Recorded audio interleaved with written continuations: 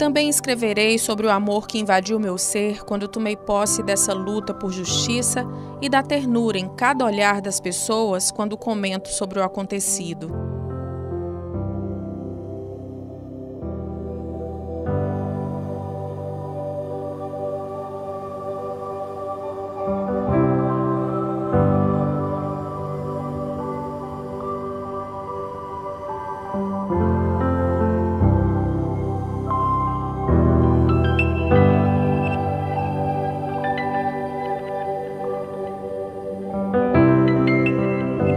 Existe uma compaixão para ser distribuída com tantas mães que hoje não têm seus filhos para viver um Natal.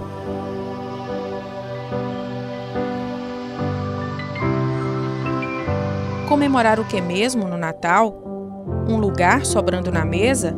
Um abraço do filho que a mãe não poderá mais sentir?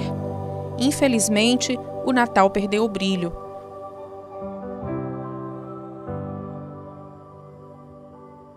O Natal perdeu o colorido. Não dá para sentar-se à mesa e cear.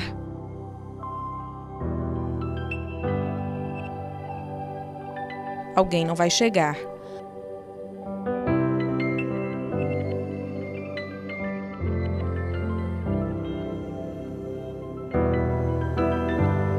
Porque o filho não virá mais.